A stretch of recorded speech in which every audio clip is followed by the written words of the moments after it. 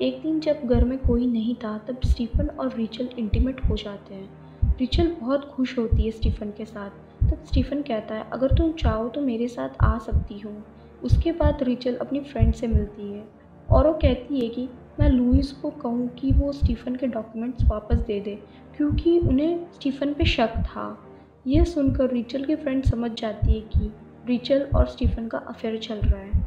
उसके बाद Louis Rachel को कहता है कि कुछ काम से इंग्लैंड जाना पड़ेगा। तब उनकी बात स्टीफ़न भी सुन रहा था। तब स्टीफ़न रिचल को कहता है कि अब हमें लुइस को बता देना चाहिए। दूसरे दिन रिचल लुइस एक साथ पार्टी में जाते हैं।